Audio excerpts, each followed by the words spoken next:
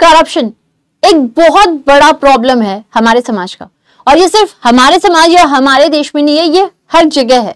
सभी जगह आपको मिलेगा किसी ना किसी फॉर्म में करप्शन कभी किसी फॉर्म में, कभी किसी ब्राइबरी के फॉर्म में देर आर सेवरल फॉर्म्स लेकिन इसको रोकना बहुत ज़रूरी है।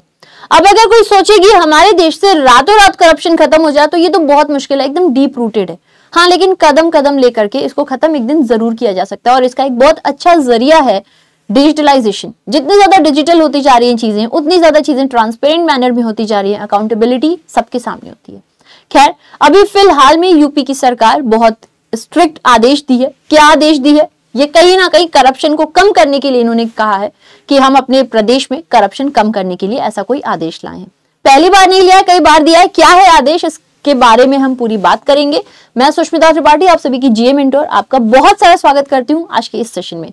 तो आज हम पढ़ने वाले हैं यूपी सरकार ने अभी क्या नया निर्णय लिया है? इन्होंने कहा है कि जो यूपी गवर्नमेंट एम्प्लॉयज़ हैं, ये डिक्लेयर करें इनकी जो भी मूवेबल और इमूवेबल एसेट्स है, इसके बारे में। और ऐसा इन्हें इकतीस अगस्त तक करना है।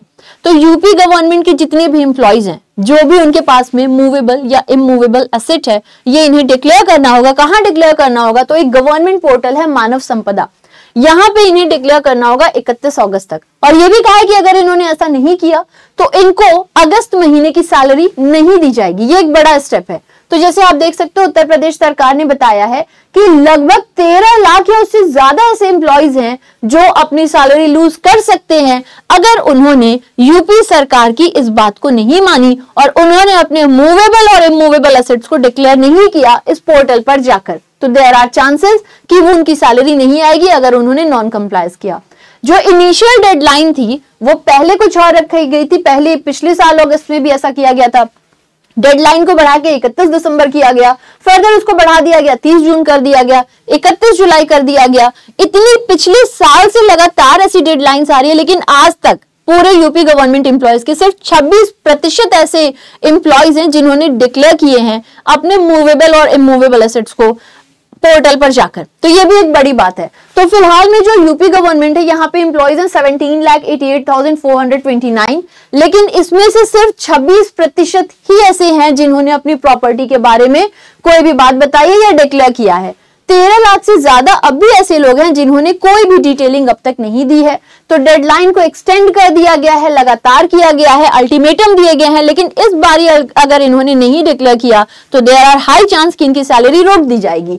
अब ये, जैसे आप देख सकते हो गवर्नमेंट ने कहा है कि ऐसा हम इसलिए कर रहे हैं क्योंकि हम लोग ज़ीरो टॉलरेंस रखेंगे किसी भी करप्शन का या किसी भी तरीके की, जो हमारे समाज के लिए बुरा हो। तो हम इसकी zero transparency sorry zero tolerance रखेंगे ट्रांसपेरेंसी बढ़ाने की कोशिश करेंगे पूरी तरह से।